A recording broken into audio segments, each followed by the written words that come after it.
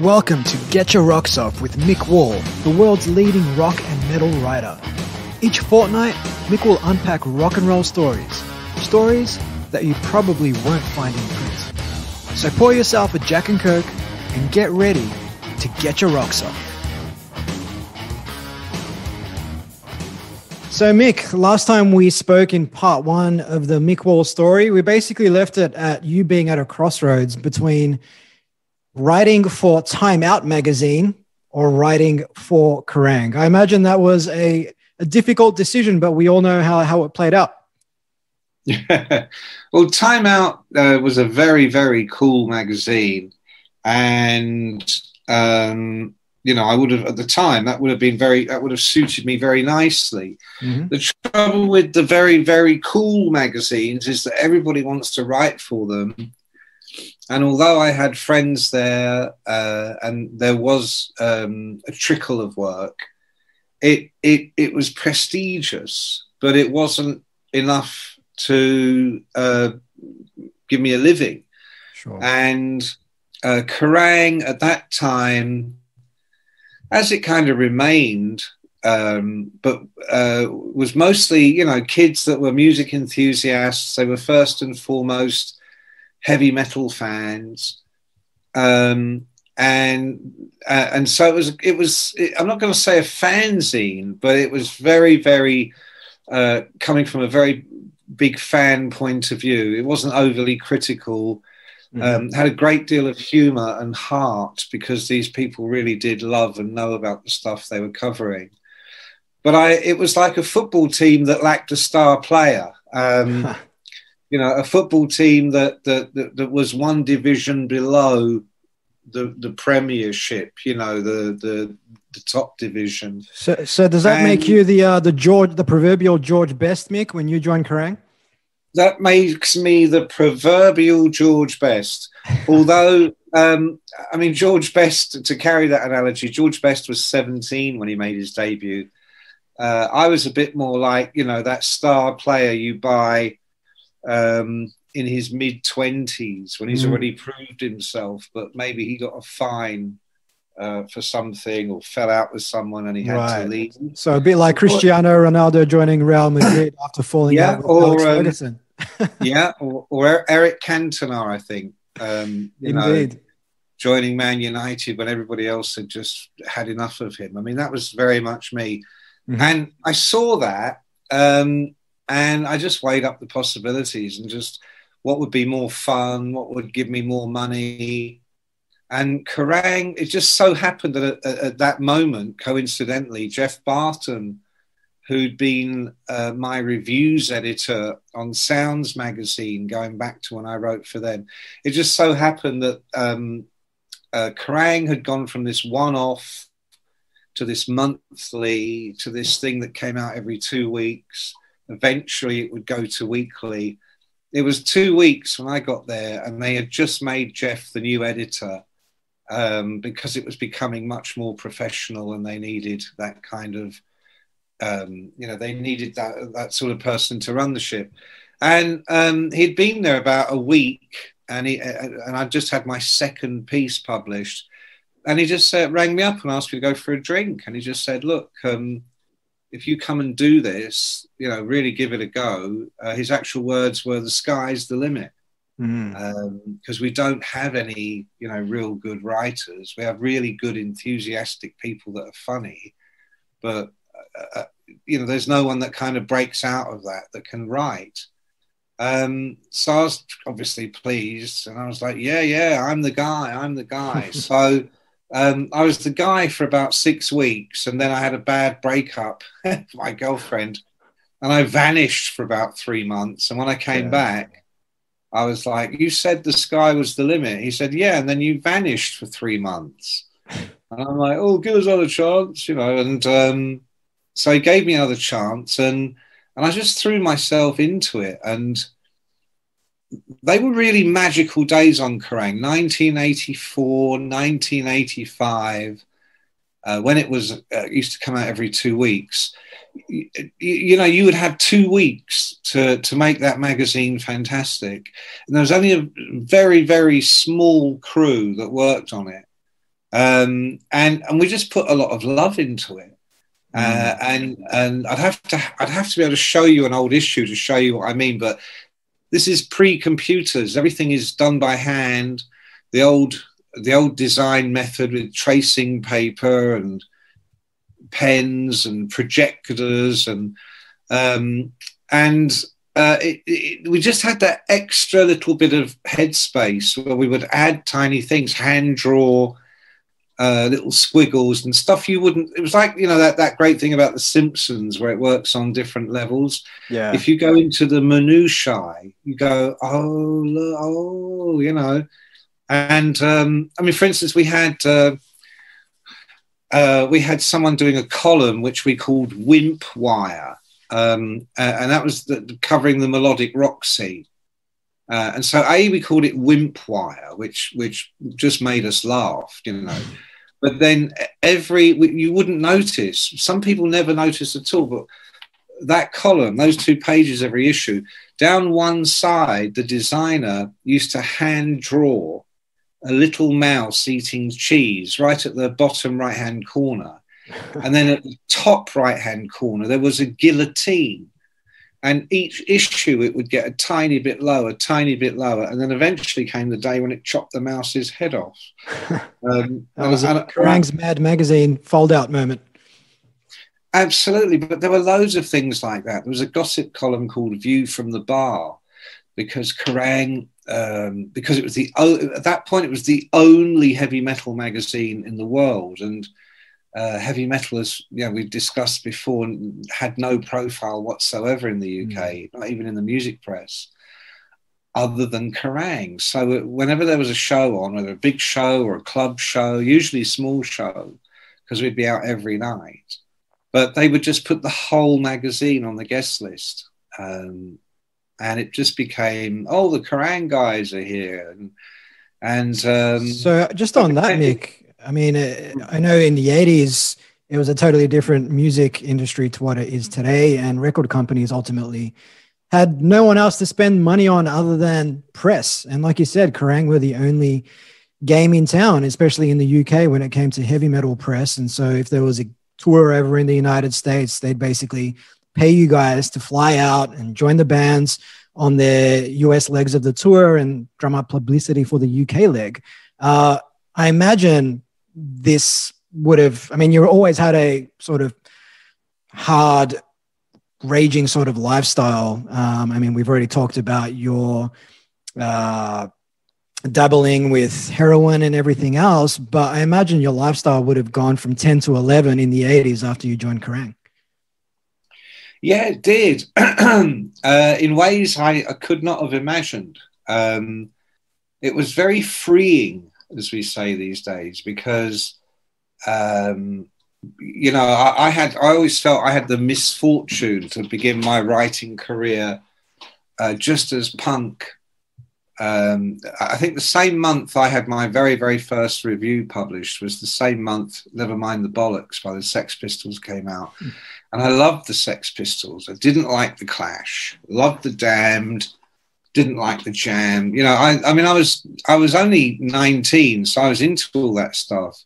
But I've been a music fan for a long time, and and like I said before, my my idea of a very, very big punk thing back in the, the those days was hate America, hate any sign of visible sign of success or hippiedom or and I'm like, oh, no, no, no, that's what I came in for. And and suddenly catapulting into the world of Kerrang in the mid 80s was kind of like the next best thing because because they were all about, you know, let's who is the most successful rock band, who lives the most lavish, outrageous lifestyle. Uh, Lemmy, Dio, Ozzy, it was just a world populated by these fantastic characters.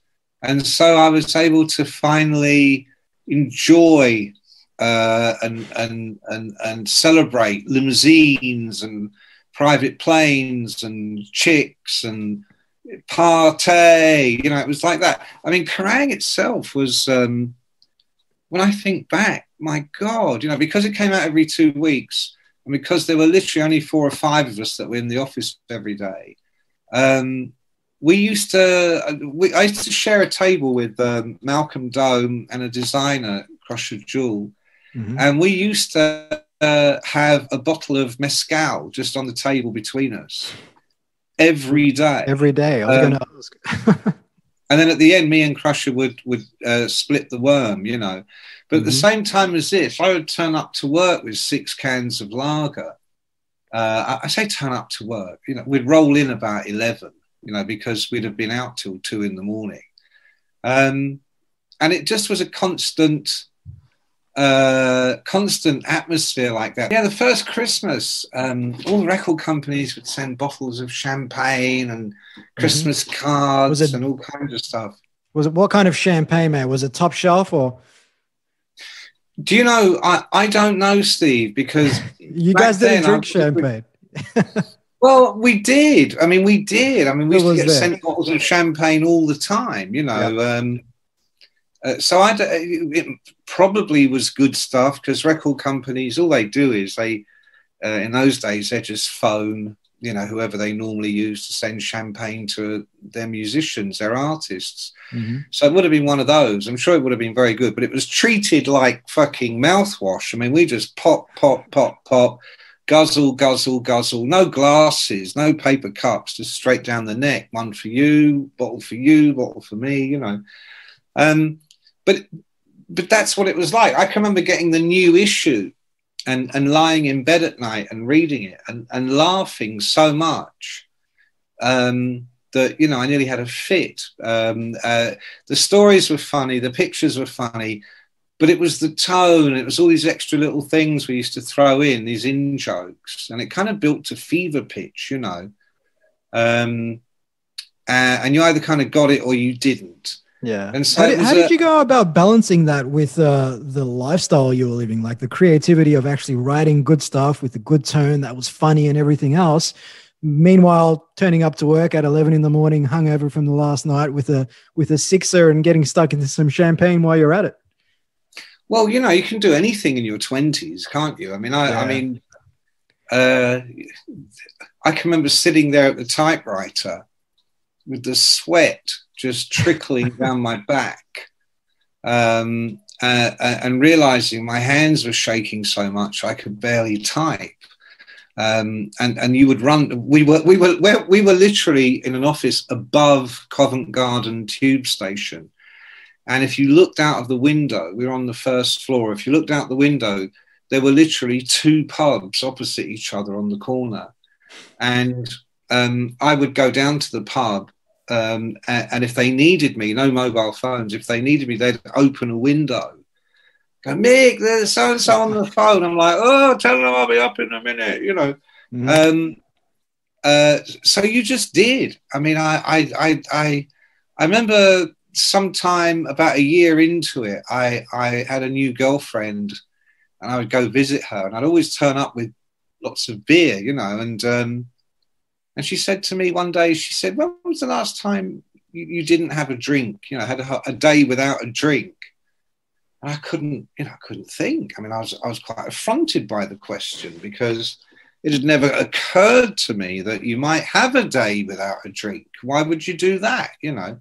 Mm-hmm. Um, so different times. And um, I, I can remember sitting in LA interviewing I can't even remember the name of the band now. I can picture them. Um, but sitting there and hurting so bad, you know, just my head pounding and the sweat pouring off me while I listened to them telling me how great their new album was, you know.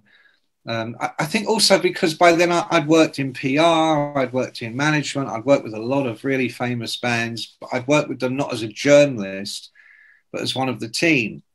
Uh, and and you see people they're, they're just people are just people whether they're in a famous group or whether they're just you know walking down the street people are just people you get used to them real fast and so by the time I got to Kerrang, uh, you know, a lot. I mean, Iron Maiden were all my age. Def Leppard were all about my age. Mm. Bon Jovi were a tiny bit younger. Guns N' Roses were a tiny bit younger.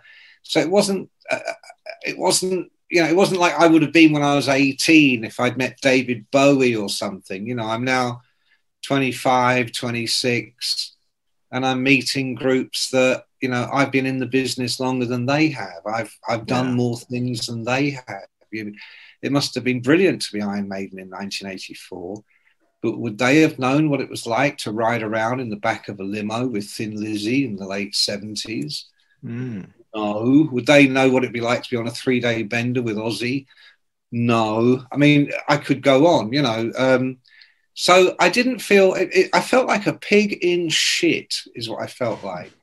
Um, and I was the biggest pig in the most shit uh, that I could find and I wasn't married. I had no kids. I'd come out of this bizarre relationship with drugs and with weird women and and men. Not you know, I mean, friends, weird friends, mm-hmm. and. Um, so I was ready, baby. You know, I'm ready to go. What the fuck? And, and I used to write fast. I didn't write for any kind of literary purpose. I wrote to entertain.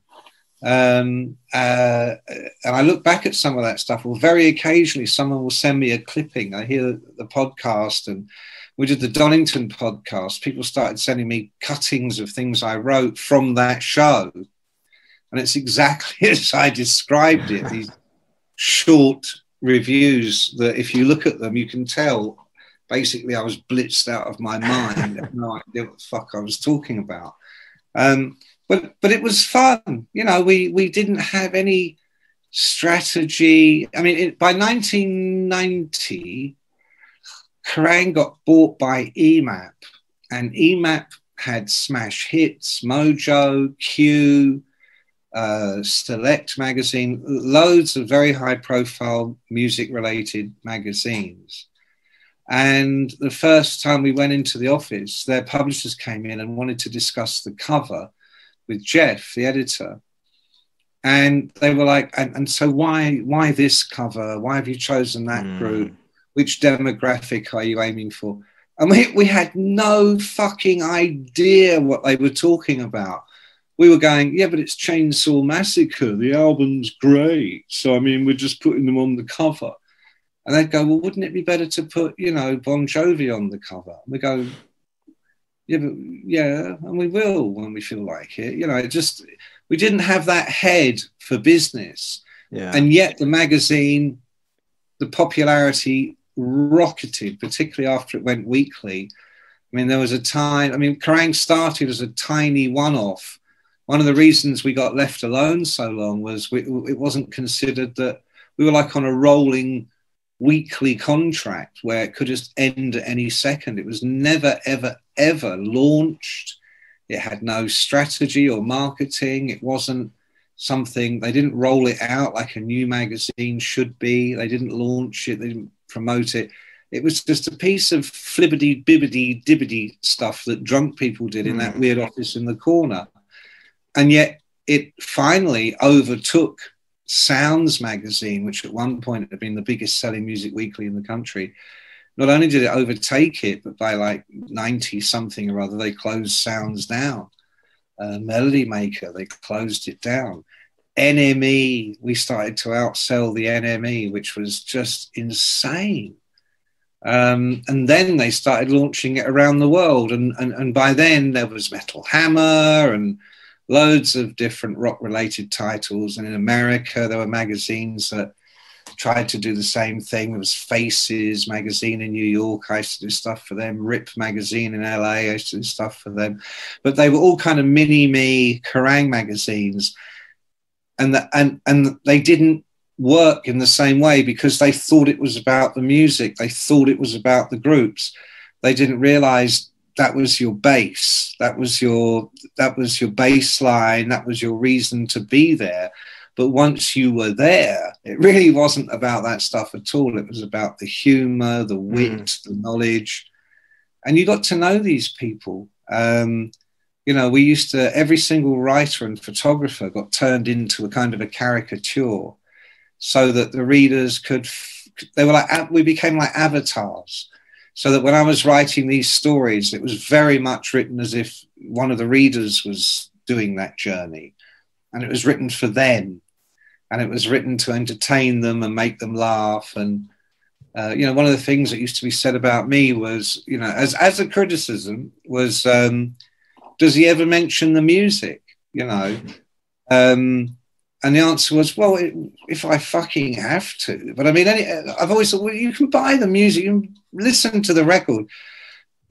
That isn't, what can I give you that you can't get? And what I could give you was getting in the room with these people, seeing them when they had food all over their face and something embarrassing had happened.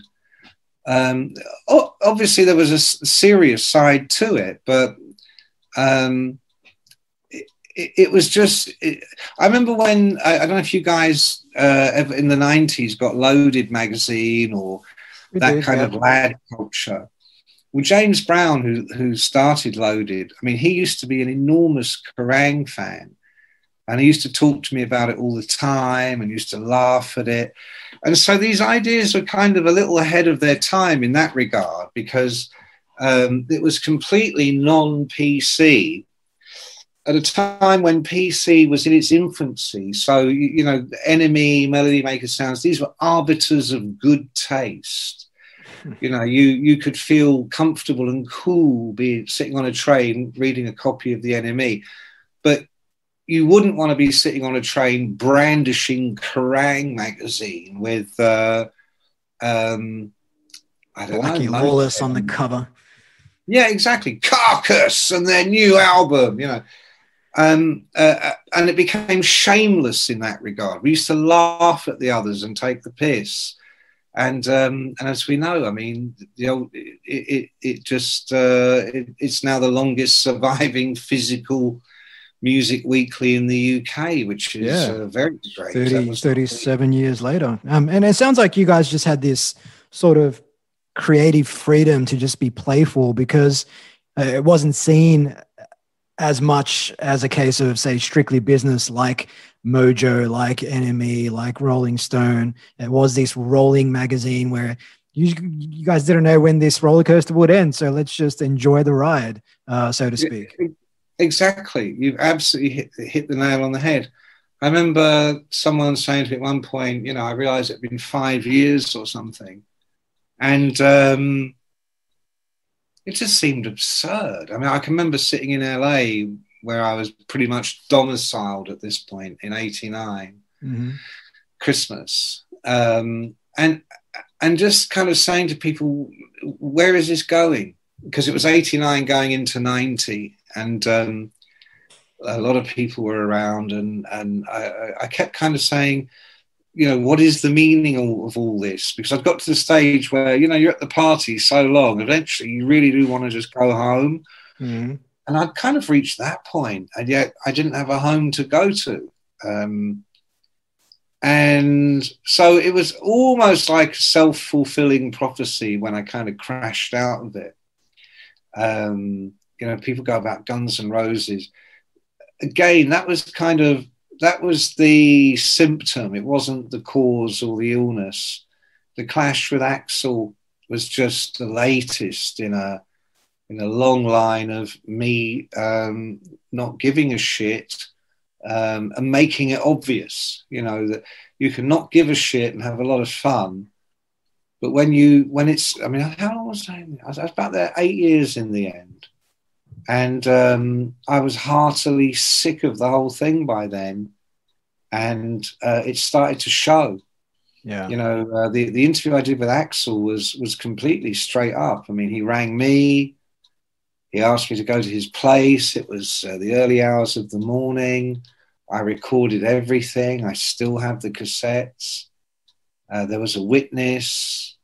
Uh, he even and I we did three different interviews that night. One for the radio show I was doing, and other bits and pieces, and it was all good. Um, but the surrounding, so and then when he blew up about the interview, uh, that was really the the the kind of excuse to deal with me. What had really been going on was uh, I, I I was beyond caring and mm-hmm. I just uh, couldn't get my act together. So I remember there was a group called Little Angels, British group. They came like a mini Def Leppard, and they came to LA, and um, I, I, spent the day with them, a couple of days with them. I interviewed them. I was gonna. I wrote a great story for Kerrang. The only thing I didn't do was the show they did in LA. I didn't go to it because I went out for dinner with David Coverdale instead, which at the time seemed much more fun to me than going to some group I didn't really feel were going to make it. Um, lovely people. I thought, well, they've had me for two days. I'm writing the fucking story. Why do I need to go and bang my head at the gig? You know, when I could be going out for dinner with David. So, um, so there were things like that, and it rubbed people wrong because they weren't in that space. By then, Kerrang had more people on the staff, people that hadn't been there in the dancing on the desks and drinking 12 bottles of champagne days. They hadn't been there for any of that. They computers had come in and you know they, it was a different emap had bought the the magazine it was a very different transition and i just wasn't in that realm i was in la by then i was writing for tons of different magazines i was doing tv and radio and all this business mm. and um, and I can't. I, I, from their point of view, I've grown too big for my boots, and yeah. from my point of view, they were all little people that didn't understand. You know. So, um, so there you go. So that was so on uh, the um, clash with Axl, Mick. Um, I mean, obviously, you'd get me back to that. Uh, yeah, of course. I mean, I couldn't let you get off the hook that easily. Uh, of, of course, what you're referring to there is that famous interview you did for Kerrang in the early '90s. Uh, in which uh, Rose threatened to harm Vince Neil uh, of Motley Crue, of course, after an incident. The actual words were, "I, I want to smash his plastic face." Yep. Guns or knives, motherfucker. I don't care whichever way you want to go. Yeah, and, and then Vince Neil caught wind of this, came out in the press and said, "I'll meet you. I'll fight you anywhere, anytime." And from what I understand, Axl basically never fronted up and claimed that uh, his crew held him back when an opportunity arose backstage at an event to to fight uh, Vince Neil. Um, but well, you nearly you've nearly got it right. Let me okay. let me prove this one out. Okay, um, it sparked from the American Music Awards. Mm-hmm. Ceremony where Axl got up and sang with Tom Petty and Motley Crue were also there getting some award, um, and Izzy was there. And what had happened was Izzy had been fucking Vince Neil's. Was she his wife? I don't know if she was his wife at that point. Was it Sharise? Uh, Sharise, the mud wrestler from uh-huh. the Tropicana. uh, Good mud wrestler. The, the best. mud wrestler from Tropicana and um, uh, class, classy act. And um, so Vince had run over, and Vince, this is a tough Mexican street kid in LA, from East LA.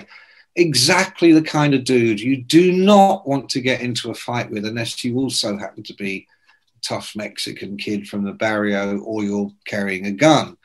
Um, so Vince runs over, wallops Izzy, and Axl, you know, runs over to help his best bud in all the world.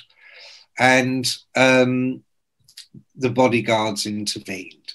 Now, Axl, in Izzy's own words to me, was just a little guy. Um, I mean, he had a he had a, a, a, big brain and a big voice and a big attitude, but I mean, he was. This is not a fighter. You know, you you could. I mean, tiny, skinny, hunched up little Quasimodo, you know, red hair. He, this is a guy, one punch, he's going to run away crying.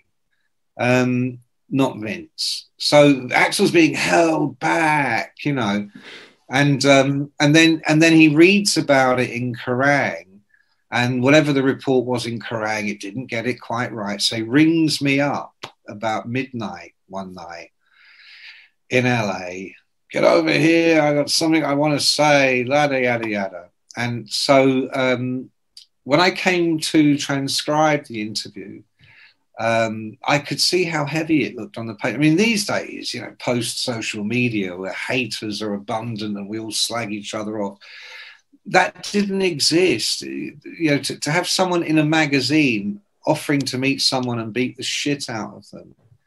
You know, this was uh, a big story. I mean, the national newspapers picked it up here in the UK. The Sun uh, took my interview and ran it as a three day world exclusive for which I sued them it took a year, but I got money out of them. Um, I wouldn't repeat the process. It was a complete bad move in terms of time and effort in all the wrong places. But it was a big interview. And as I'm typing this thing up, I'm going to smash that fucker's face, you know, blah, blah, blah. I thought this looks really heavy. So I rang him and I recorded this conversation as well. And I still have this conversation. And I just said, Look, I'm sitting here writing this and it just looks really heavy. Uh, he said, Well, read me some. And so I read him some of the worst parts. And he was laughing. And then he said, and I quote, he said, I stand by every motherfucking word. Print it. So we did. And three days after the magazine came out, his publicist called me and told me Axl didn't believe he'd said those things. And it turned into, you can imagine how I took this information. Um, it had just been a few months before that, that, that, you know, they'd been asking me if I would have Slash stay at my home in England uh, so he could come off heroin. I was going to introduce him to the private doctor that I knew had helped many people.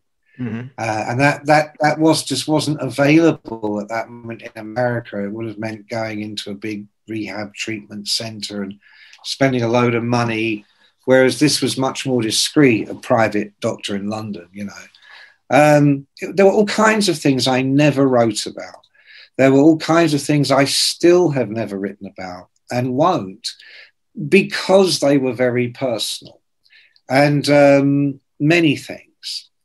And so to to to be that guy, and they were giving me gold records. I've got GNR Lies on the wall next to me here right now with my name on it. To, to go from that guy to being he, he didn't say those things, you made it up. I mean, I lost my fucking mind. Mm. I then offered to fight him. Hmm. and of course, that didn't pan out. Um, Didn't Don it, King uh, want to promote a fight between Axl and Vince, and, and Alice Cooper came out and said he'd fight the winner?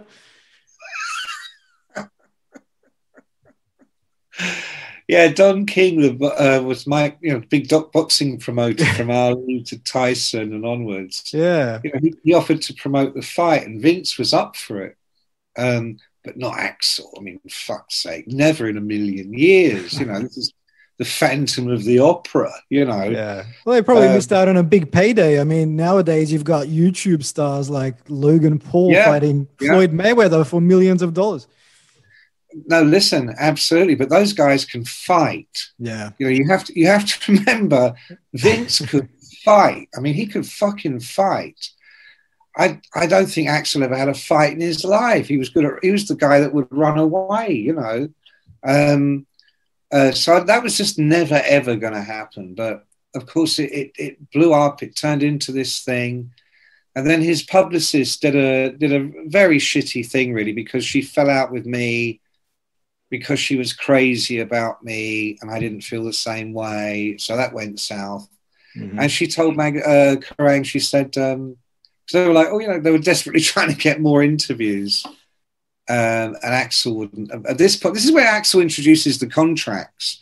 This was a big thing when Use Your Illusion came out. Everybody, if you wanted to interview Axl or any of the band, you had to sign a contract um, saying they owned it and they had approval. And of course, it went down like a lead balloon with the music press, particularly in the UK, because that just was not something, you know, fucking Paul McCartney didn't ask for that. You know, I mean, Bowie didn't ask for that. You know, that just mm. didn't fucking happen. And he did it, and of course, it, it blew blew up in his face. Everybody hated him for it.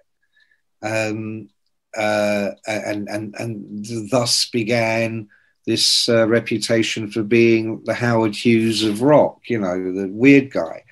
So um, the whole thing had endless repercussions, but one of which was Kerrang desperately trying to get another Axl interview under pressure from EMAP, who, again, all these people that weren't there dancing on the tables.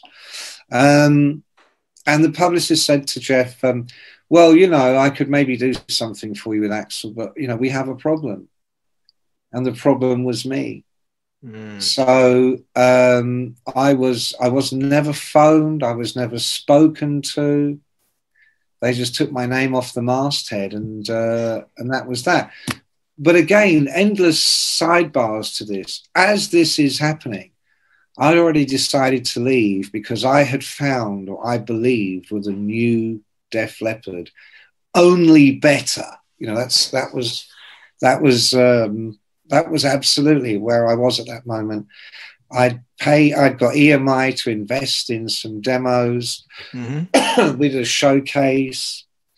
They flew me to LA to meet Capitol Records because clearly this was going to be a big American act as well. So, and I turned up in this suite, and I've been to LA a million times. I even had an apartment, but on this occasion, they've laid on a suite at a hotel, and I turn up with this champagne and flowers in the room, and you know, blah blah blah. I thought, here we go, and needless to say, it all came to shit because literally. Um, just as I was setting up this deal, a little group from Seattle called Nirvana mm-hmm. had this um, massive hit.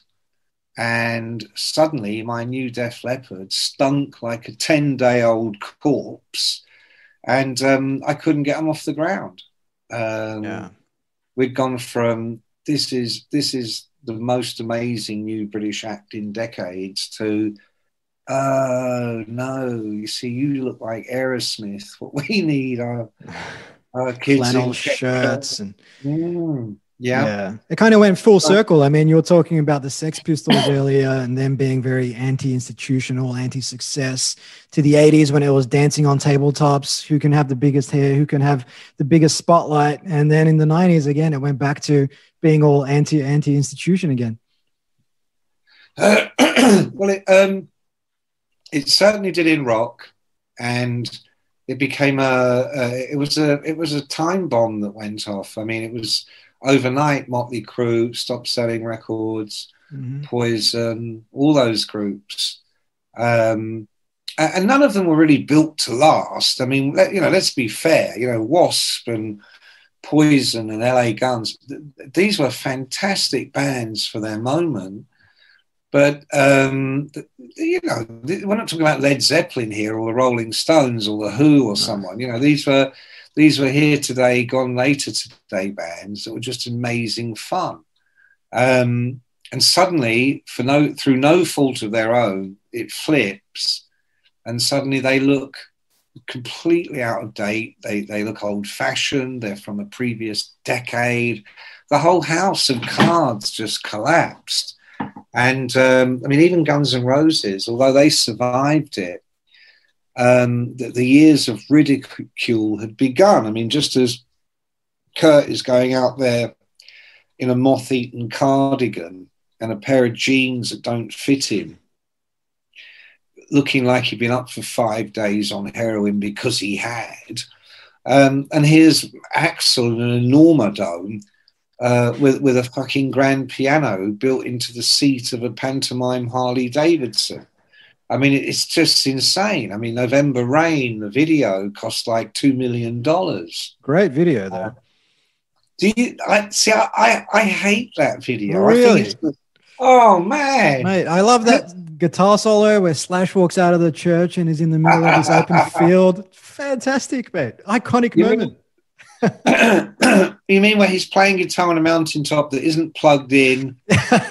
That's the exact same one, yes. Yeah, there, there's no visible means of support it's for that. Guitar. Wireless, mate, wireless. It, no, it's called miming. and um, if you compare that to the Sweet Child of Mine video, which really did cost like a hundred dollars to make, you know, the Sweet Child of Mine video is visceral. It's you're in that room. It's fucking feels dark and exciting. And although they're obviously miming in that, they don't look like it. You know, it really looks like they're going for it. Whereas November Rain, straight out of the fevered brain of Axl Rose, um, who Alan Niven, when I was doing the book on them, their manager was telling me Axl would come in with these ideas for videos, and then he'd leave the meeting, and the video director would say, "Alan, that's going to cost you twenty million dollars if you do that video," and um, and so they had to kind of circumnavigate that. But by the time you get to November Rain, Alan Niven's been fired. Anybody that ever said to Axl, maybe not such a good idea. Everybody is fired. You know, I'm, I'm in the shit club, which is now bigger than the people that aren't in the shit club. So um, the Axl Friends Society has dwindled to about two guys, and the shit club is everybody else, with me as a founding member. Um, so, uh, yeah, so not only that, so this happens, but suddenly Kerrang isn't special anymore. I mean, number one, they've let me go. Um, I come back a couple of years later when I get back from LA and I start writing for Raw magazine which was a Kerrang offshoot. There's a whole yep. backstory there. We'll get into that another time. And um, um, but Kerrang is no longer Kerrang. You know, the days of Kerrang being the only magazine that would put Iron Maiden on the cover, Ozzy, Motorhead, Def Leppard, Metallica, Anthrax, endless. Um, and not at a time when no other fucking magazine would do that. Those days are gone because NME, uh, the Sydney Herald, you know, the London Times, the LA Doodah. Everybody wants Nirvana, Pearl Jam, Soundgarden, Alice in Chains, mm-hmm. and all the others. So, uh, Rolling Stone, Mojo, Q, everybody, everybody. So um, suddenly, um, Kerrang is foundering. Uh, Raw is barely clinging on. Um, and uh, I turn up in the office in cowboy boots with long hair. And I suddenly, the minute I walked in the room, I was like, oh, fucking hell. I'm like, I'm like back to the future here. You know what I mean? So I, I, remember literally going out the next day and buying some Dr. Martin boots and cutting my hair and and um, and trying to fit in. You know, we, we were all suddenly looking to fit in. Def Leppard, it was, it was like after punk, Def Leppard cut their hair. Yeah. You know, uh, Bon Jovi and Def Leppard both chose to bring out their greatest hits with a standalone single, which was a ballad, which would guarantee radio play and become a hit. And that, for Bon Jovi, it was always, and um, and for Def Leppard, it was a song I can't remember the name of, but it was like number one over here. Mm. Um, you know, it was a, everybody, all the confidence and fun had gone. David Lee Roth put it really well. He goes, um, grunge, that was when fun stopped being fun. Um, and it was true. All, all, their careers withered on the vine. The magazine withered on the vine. Raw finally went out of business in '95, just as I bought my first house. Thanks, guys. um, and uh, and Kerrang began its slow descent into mediocrity and how can we appeal to the broadest possible audience? Which is why for the last 10 or 15 years in the UK Kerrang is mainly bought by, by teenage girls.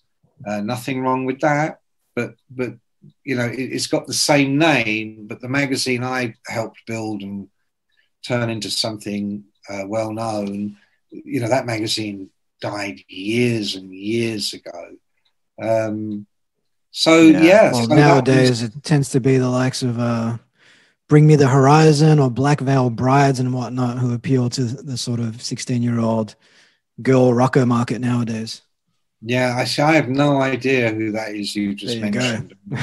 no more than you probably know who Rogue Male were, or Rock Goddess, or um, any of the other crazy lunatics. I do remember Wet Cherry though from uh, the Decline uh, documentary. That was that was a, a band that was destined for greatness, if only.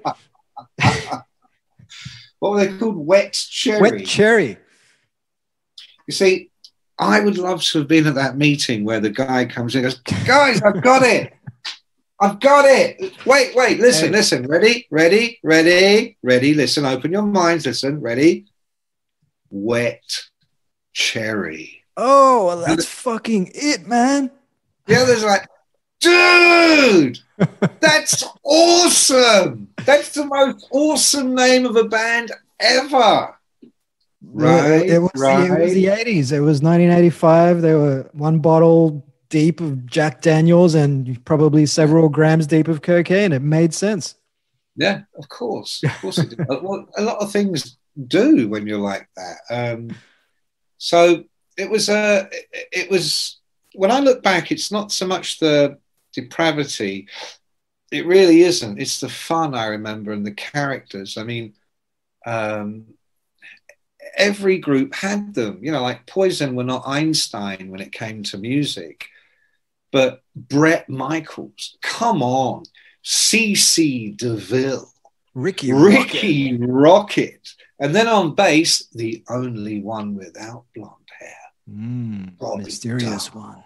Yeah, yeah, yeah. You know, just this stuff would just tickle the shit out of us for years and years and years. I mean, even Metallica were cartoon like right up to the 90s when they began to take themselves very seriously. But before that, I mean, we used to, Lars was always known as Stars um, because he was so clearly, you know, starstruck mm. and on a on a mission to become famous, no matter what. You know, there was there was Stars, Bon Jovi, um, uh, oh God, I can't remember. You know, loads of these things, like your best friends. You just you just took the piss, made up nicknames, and and thoroughly enjoyed their company.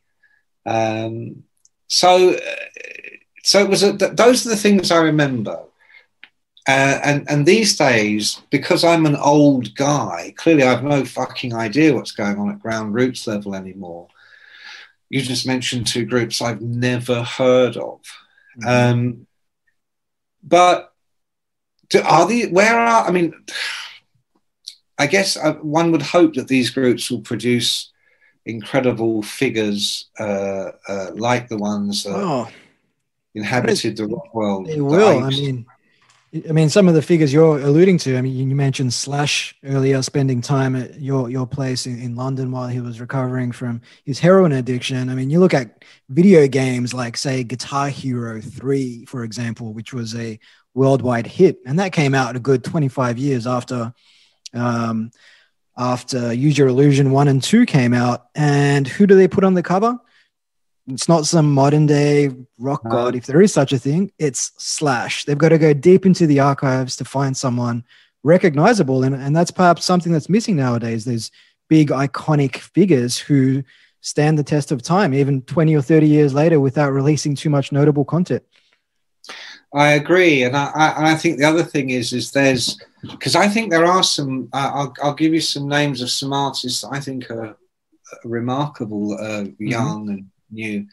Um, but there isn't that kind of lineage. There isn't that extra context.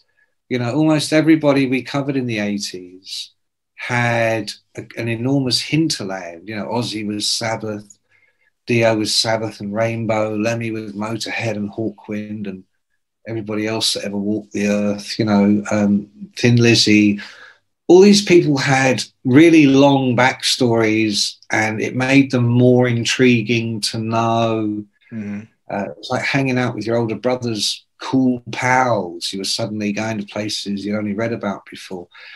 I don't see that right now with the with the, whatever the next generation is. However, that doesn't mean there isn't great music being made. I, am just not entirely sure if rock as we used to know it um, is in a place where it can be refreshed or reconfigured or represented in a different way. I think it's also ironic and knowing now that people don't even want that. They, they want authenticity. I mean, that's why people like me still have a, a career, an even better career than I ever had on Kerrang, because of the years I spent on Kerrang, because of all the other things I did where I either fell spectacularly on my face or I uh, came out with something amazing like my Led Zeppelin book or my Jimi Hendrix book. Um, it, it, Def Leppard and Journey, I remember seeing them on tour in 2018. in in America.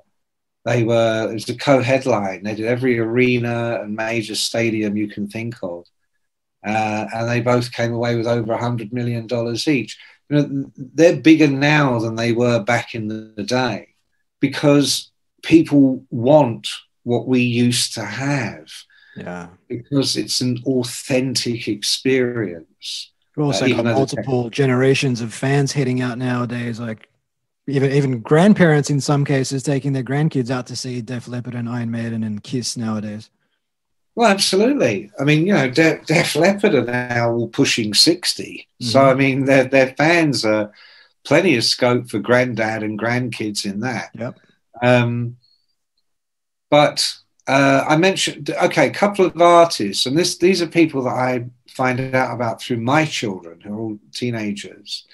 Um, Billie Eilish, who everybody knows about at this mm-hmm. point. But two years ago, um, when her first one or two tracks came out and my teenage daughters were playing it to me, I just thought, wow, what is this? Um, just when you thought you'd heard it all in pop music or rock music, along comes this young female artist who isn't going to dress provocatively or like a soft porn video. In fact, deliberately goes the other way. Here's a young artist that writes all her material with her brother. Very unique point of view, unique sound. I mean, it just the whole thing was incredibly intriguing. And I was doing a, a Sunday afternoon radio thing here at the time. In fact, it only ended a couple of months ago. We had a two year run. And um, I was talking about her all the time, um, ad nauseum. Um, so I'm doing that to display the fact that I, am not late to that party. In fact, I was early through my kids. But another one, a boy, Yungblud. I don't know if you know about Yungblud out there in the rest of the world, but it's, it's Young B L U D. I think it's a one word. Mm. This dude, he's English, um, mm. but he mainly in America. Um, fucking talented, crazy motherfucker he kind of reminds me of what Axl would have been like um, had he not had Guns N' Roses and had he been a bit more self-sufficient and and and less Aspergersy, you know, because Yungblud brings out a new track every two or three weeks, mm. and I get to hear about it because you know one of my daughters is insanely in love with him. But I mean, so I've seen his videos, his shows. This fucker is for real.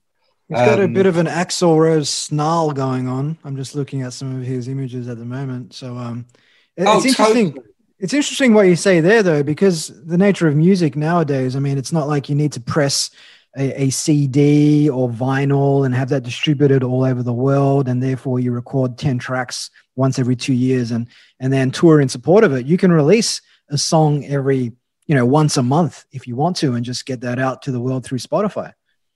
Well, that's exactly what he does and what he's been doing. And I think that's the way, that's absolutely the way to go.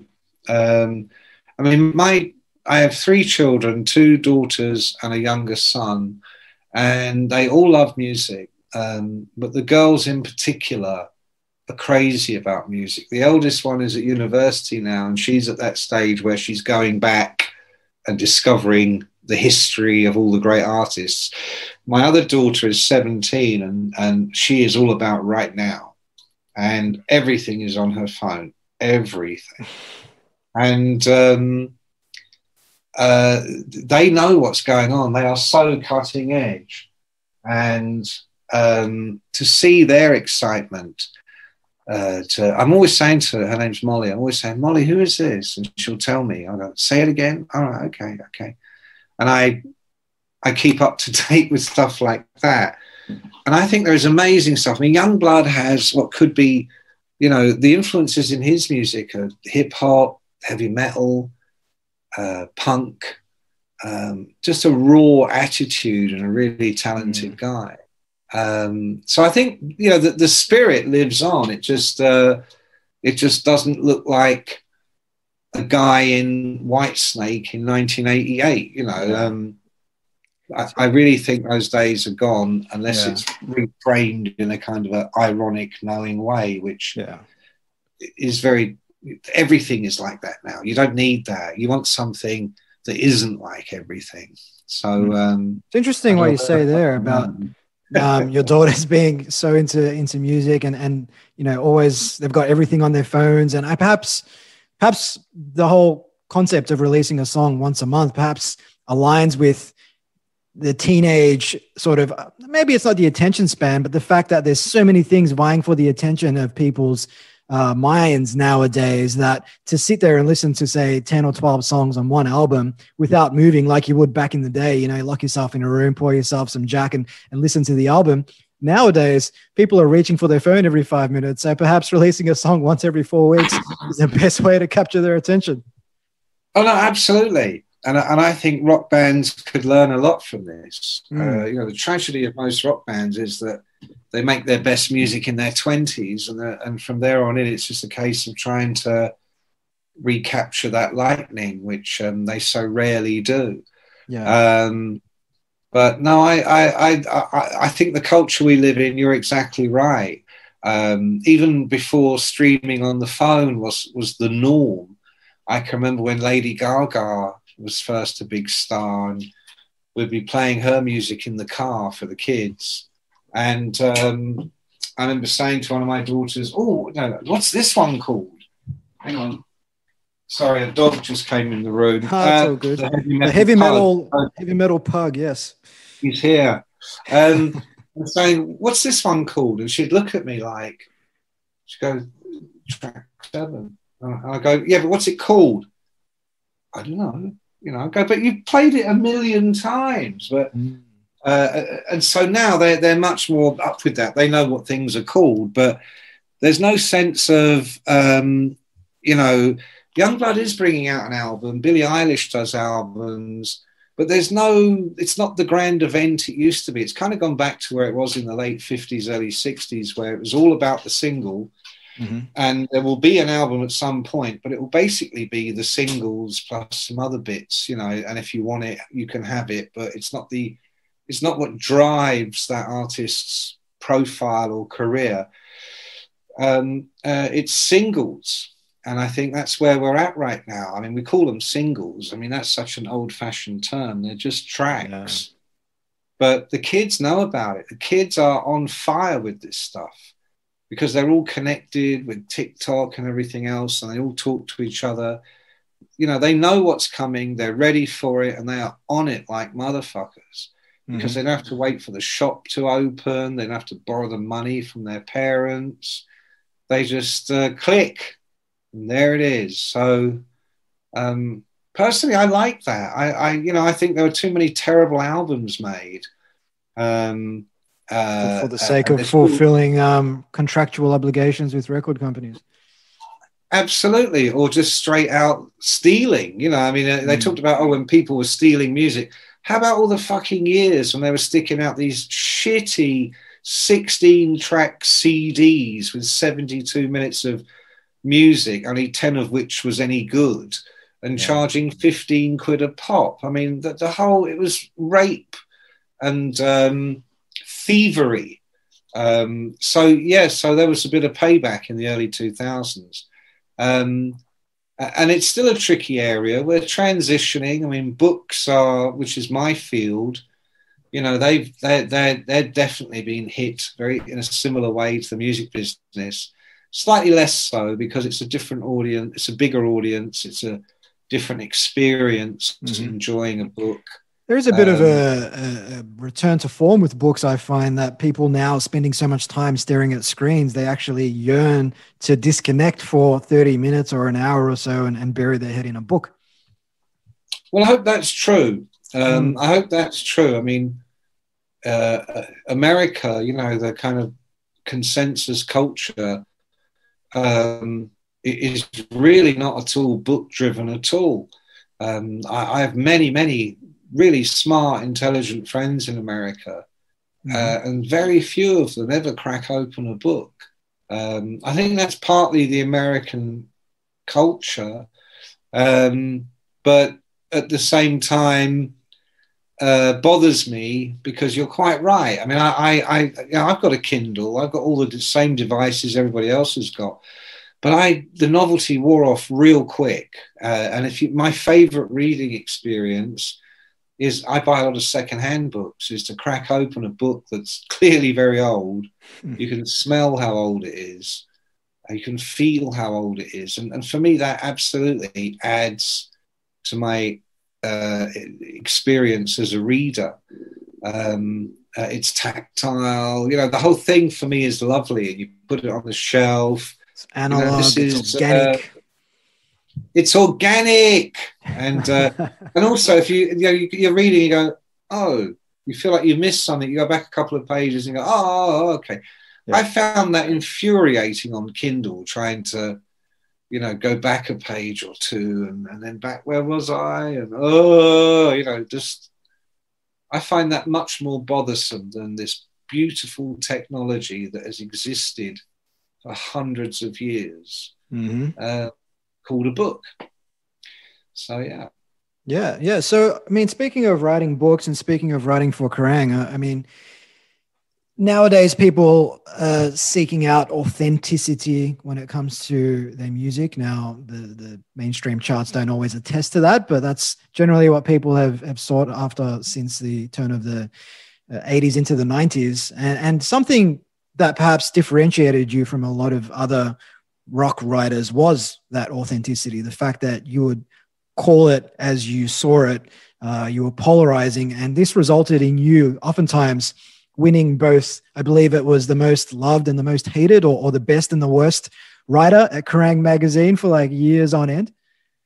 Well, it would be uh, best thing about Kerrang. Yeah. Worst thing about Kerrang. uh, and one one year I won both of those simultaneously. Yeah. Um, uh, and you know, how do you take that? And the editor was like, "Well, you take that as the ultimate compliment." You know, the, the, the worst thing anybody can ever say about a writer is, oh, he's, he's all right. Yeah.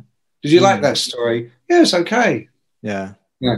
Did, what did you think of that story? I hated it. I hate that guy. That fucking guy. I hate him. Yeah. It's, what did you think? Either one K or five Ks.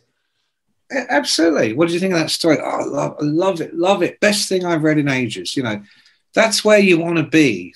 But by the time I I, mean, I wrote my first books back in the uh, very late 80s, early 90s.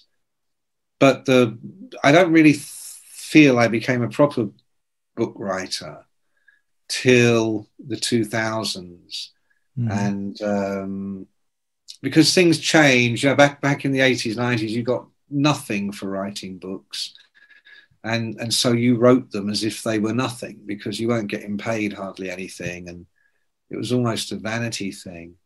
Um, things changed around about 2004 for me um, because of a book i wrote called paranoid which was a lot of fiction a lot of reality a lot mm-hmm. of i don't know what this is. I'm just going to write this thing that's ghastly and entertaining and weird and off the back of that, um, I got approached by a literary agent, and suddenly uh, I, I'm in a different realm in terms of how much money someone will pay me to write a book.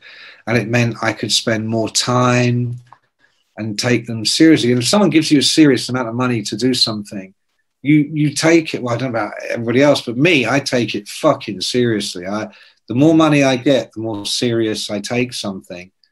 And so um, at that point, I developed a completely different attitude to writing. And I had to make some tough choices. Do I preserve these relationships I have with artists and people in the business? Or do I just go for broke and try and write, you know, at the time, just one book at a time? Every book could be your last, you know should I just put everything into this and, and just see where it takes me? And that's what I did. And sure enough, it meant, you know, Jimmy Page stopped talking to me, James Hetfield stopped talking to me, um, other examples. Um, but at the same time, there were lots of people that now desperately wanted to talk to me. Um, because they'd read the books and they had a completely different idea of who I was at that point. And so that's been my formula ever since, which is to not try and deliberately burn bridges, but um, uh, uh, where where it has to be done, it has to be done. And and I just hope and pray that that the work will be good enough that it will uh, it will develop a new bridge to some other place rather than um, wanting to. Oh, I hope I hope you know I hope the guys in Bon Jovi still like me. You know, mm-hmm. I don't give a fuck. I mean, be, it's nice when we meet, but it, I don't lie awake at night worrying about that shit. I mean, I used to be at gigs every night for years and years and years, all over the world. Uh, and I don't do that anymore. I haven't done for a long time. I'm too busy writing books and trying to find the truth, um, which is a lot of fun, but does require a kind of monastic dedication and, and absolute discipline about not giving a shit who it might offend. Um, yeah. And, and readers respond to that. People are not a lot of people are stupid, but there are many people that aren't stupid. They see, they know. I mean, the less authenticity there is, the more attuned people are to it when it shows up. And um, um, that's genuinely the response I get, not just to my books, but podcasts, TV and radio stuff, uh, live shows that I do. People love um, the truth. Mm. Uh, and sometimes the truth makes me look like a complete fucking idiot because I was at that moment or can still be quite often. Um, but they then believe you when you tell them the other stuff because it's all coming from the same place. And that's what's interesting um, to get, you know, to try and share that that stuff. And I'm the same way. I'm the same way. I, I read books and listen to podcasts and watch TV and all that stuff. And uh, it's always clear as day when someone has something and they are brave enough to um, let it hang out and skillful enough to present it in a way that that hopefully will turn you on. So um, definitely. So I mean, you've published or written more than twenty books, and some of these books are absolute monsters. I mean, when giants walk the earth uh, the 50 years of Led Zeppelin book. I mean, that's what I haven't got the book right in front of me right now, but from memory, it's over 600 pages. Um, same as your Metallica book, that was about 500 pages long. So obviously, this requires a lot of dedication to your craft. And these are well written books with a lot of humor and interesting anecdotes and all the rest of it. Um, do you think you could have written a book like When Giants Walk the Earth in 1985, Mick, when you were uh, turning up to the office with six beers in, in tow? Not in a million years. I, could, I, I could barely write it in 2007 and 2008 when I did write it. I mean, I, I, I had. How long did it take you to write a book like that? Led Zeppelin took me about nine months. Mm-hmm. And that was pretty much working on just that and nothing else. I, I did take the occasional gig here and there, just a one off thing here and there, um, only because it looked easy and there was money. But there were maybe two or three of those in the whole nine months. I mean, the rest of it was all Zeppelin. My, my children were all babies at the time. Uh, my boy was two, my girls were seven and four, 5 mm-hmm and um, I ended up renting a little place about 10 minutes drive away, um, like a little cottage, uh, where I just, that was, that was me for six months, uh, just working on the Led Zeppelin book. And I, every step of the way, I was terrified because they had given me a shitload of money to do it. And I it, I froze. I froze. I was terrified. I'd never seen that much money, and um, I just uh, I remember talking to John Houghton, who I now do the Getcha Rocks Off podcast with. Mm-hmm. Um, I remember talking to John on the phone and saying, "I can't do this. I can't do this," and he was like, "Why not?" I'm like, "What do you fucking mean? Why not?"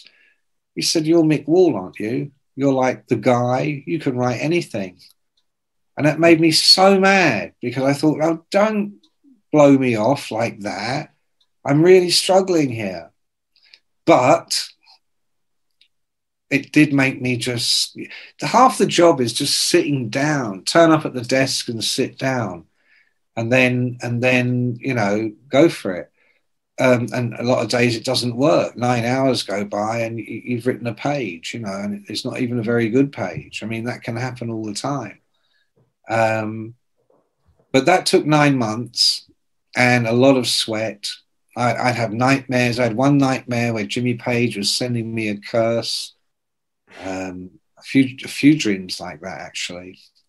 But I mean, I, I broke my ass. I did everything I possibly could to make that book good, and um, and it was. I mean, you know, uh, it's a fantastic book. The the one you're talking about, the Fifty Years, that was um, uh, the original book came out in 2008, and in 2018 was the 50th anniversary of them making their recording their first album. Mm-hmm. So in that, I, I, I wrote a, a, a, kind of an update that covered those 10 years, but not just those 10 years.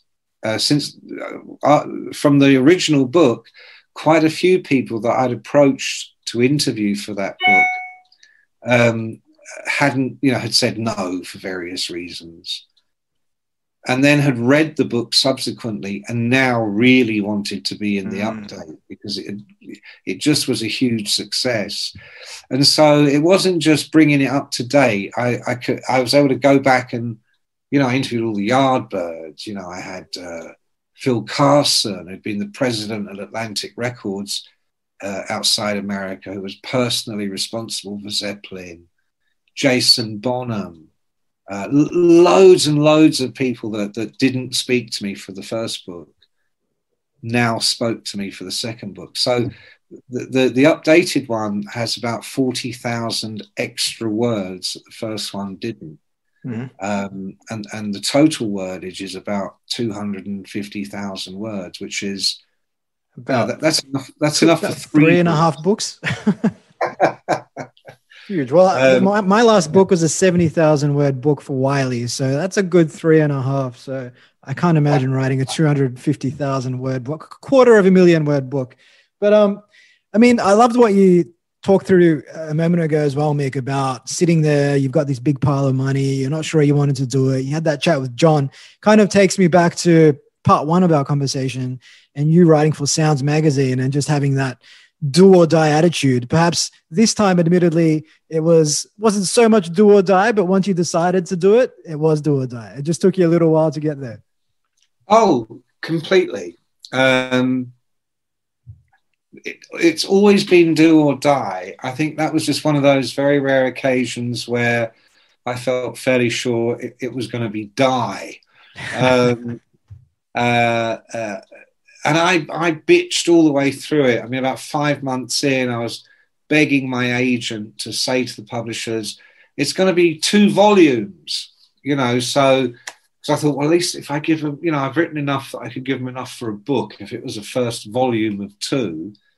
And then I can be out of this hell for a few months and finish the second one next year, you know. Um, and they weren't having it, just not having it. We've given you a ton of money this is the deal, deliver the book. Um, but hey, you know, you learn. I mean, um, I've written about 15 books since then. And I mean, you said earlier over 20, it's actually more like over 40 because I've written books under different names. I've written mm-hmm. books that I don't even have a copy of and have never even seen, you know, for weird publishers in Canada or America or Japan, you know. Um, uh, but um, you know, these days, you know, my, my most recent book on Jimi Hendrix, that's less than hundred thousand words long, and for me, it's by far the best book I've ever written. Um, but it's that's from my entirely from my point of view, and because with Hendrix, I really felt that, that this was like the Christ story, you know, this kind of mythological being that appeared amongst the disciples and was considered the Son of God. and then died a horrible death, which, in my view, had nothing to do with an accidental overdose, but was in fact a murder. Um, so I, I, I, thought, well, you know, we, we, you know, we all think we know the broad outline of the Christ story, but you can interpret it and add to it and bring it to life in a way that people had never considered before. And so that's what I tried to do with Hendrix. It was, I already know I'm a great writer of this kind of stuff, but where can I take this where I haven't been before as a writer? And um, and so that's what I did with Hendrix. And I got to tell you, man, I, I it was a thrilling thing to do. It was very hard and and mm. so forth. And uh, the publishers had a lot of problems with it, uh, which has almost resulted in me never working with them again um, because they wanted some, something much more vanilla and just told the same fucking story that millions of other books have told. And um, so I, I, you know, I, I there's a there's a, a um, there's a relationship I have now with the people that read my stuff or listen to my stuff, where I think they trust me to do right by them, even if they don't always like the finished product. I think they will at least they acknowledge at least that I'm trying to do something exceptional, um, and I'm doing it for all of us, you know, uh, and I'm doing it about artists and music that that so many of us are in, still intrigued by and in love with. Mm. Definitely, and um, I mean we're we're getting close to the uh, tail end of this conversation, and um, one thing, I mean, we probably don't have time to talk about your producing documentaries at Sky or BBC Radio or founding co-founding Classic Rock magazine or being a founding editor back in 1997. But perhaps a good place to wrap up the Mick Wall story would be on some sort of say revelations you've had about life. Um, perhaps we can we can touch on death, but firstly about the empty existence that can be or, or was rock and roll in the 80s. Um, and, and, I believe you penned this elsewhere where you basically said that, you know, despite having access to so much sex, drugs, um, and so on, you eventually saw how fake and empty the existence was for most, if not all, of the bands you covered. Um, and how that also applied to your own life. And like you said, you mentioned now you've got a, a young family, you're married, you're, you're living um, in the relatively uh, peaceful surrounds of Oxfordshire. Um, I mean, what have you learned about that? And what are you doing differently nowadays? Obviously, the heroin's gone, the hard driving lifestyle's gone. But now that you're 62, you've been in this game for four decades. I mean, what are some of the really sort of profound life lessons that you have learned along that way? Hmm. Um, I don't know um, if that's the sort of thing I can really nutshell. Mm-hmm. Um, well, what about the empty of existence and how you've pulled it?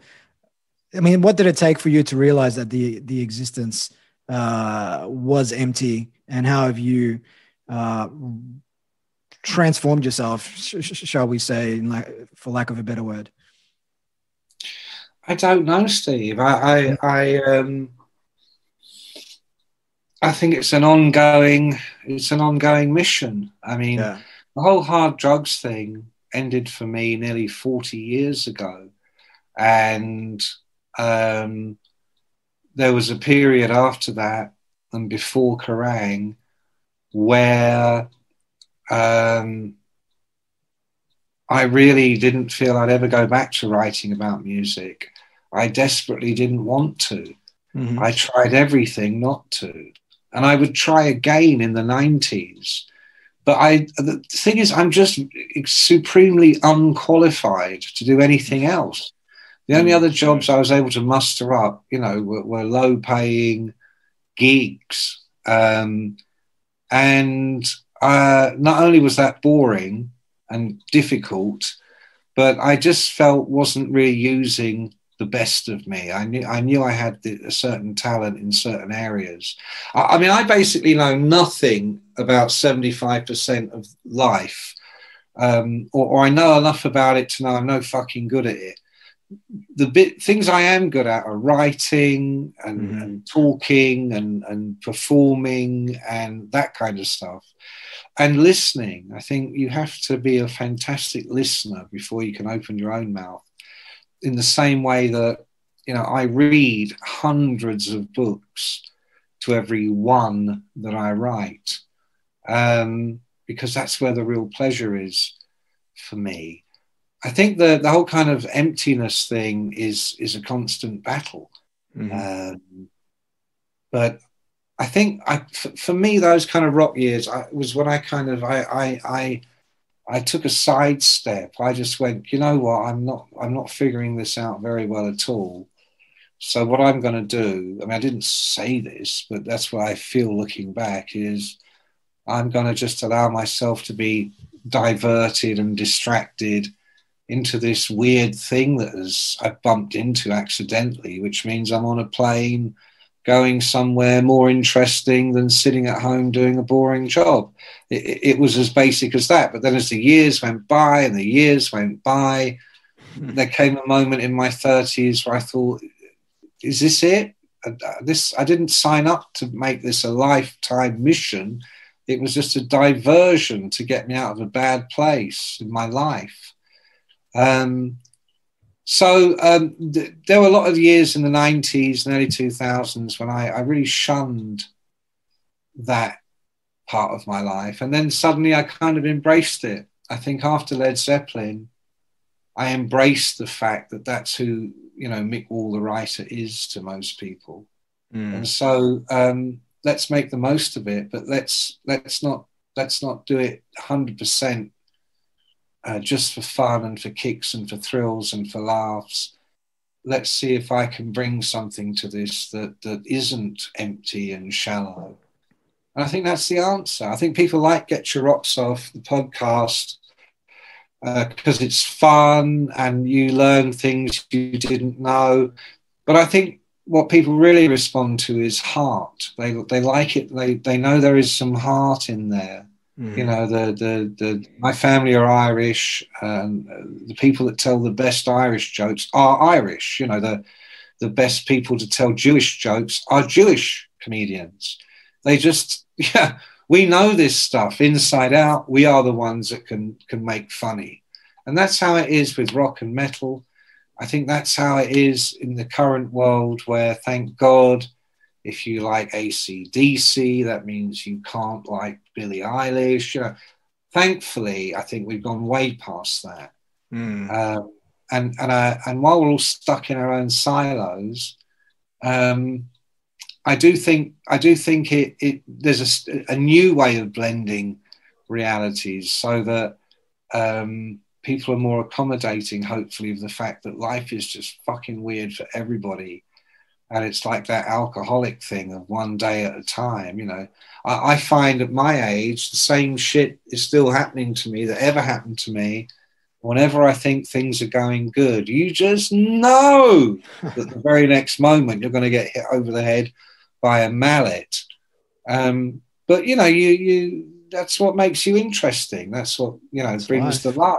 That's the, mm-hmm. that, what's the note of recognition that um, you know nobody's impervious, and anybody that acts like they are definitely deserves the piss taken.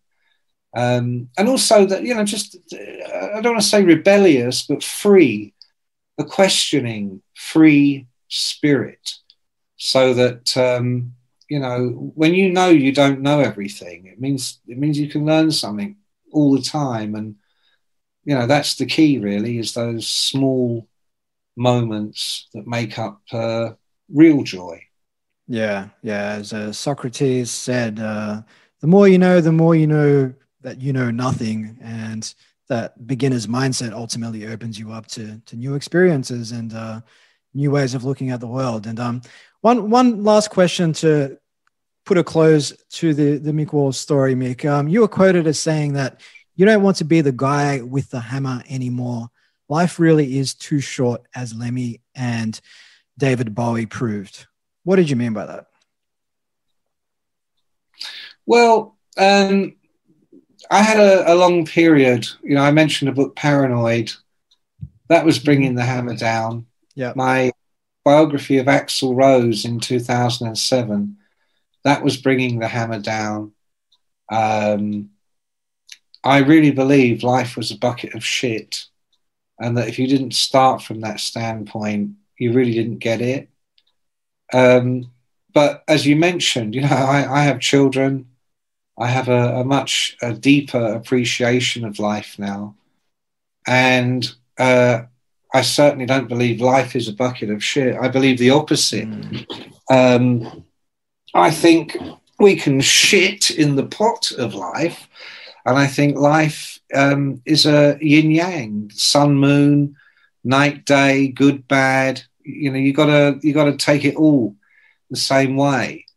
Um, and I think what I was trying to say with that is I, am not this young angry guy anymore. Mm-hmm. Um, uh, I'm not saying the anger has gone, the youth has gone, but that doesn't mean their search has gone. It doesn't mean their desire to go and do something brand new today, this day, has gone.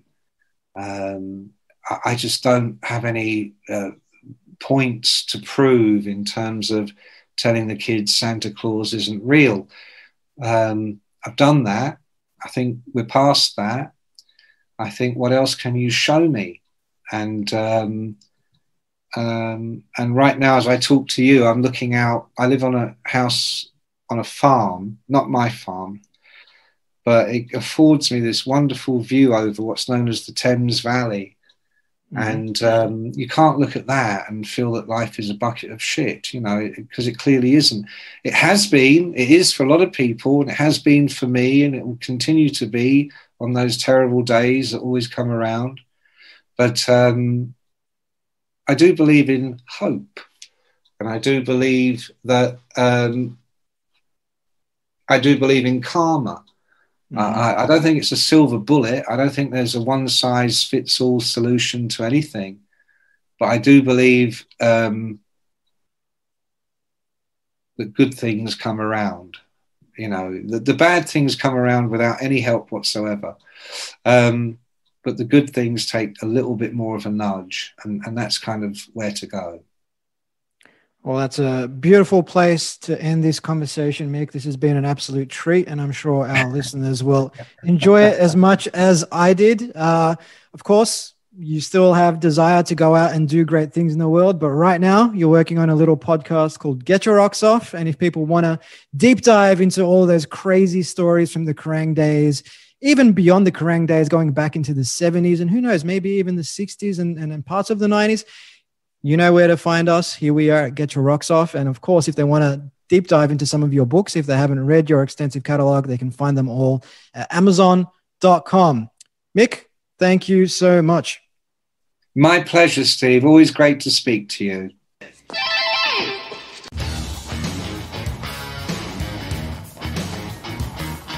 If you liked this episode, be sure to leave us a review, share it with a friend, or plain old subscribe wherever you happen to listen to it. For full episode show notes, visit nofilter.media forward slash getcha rocks off. This has been a No Filter Media production. Say what you want.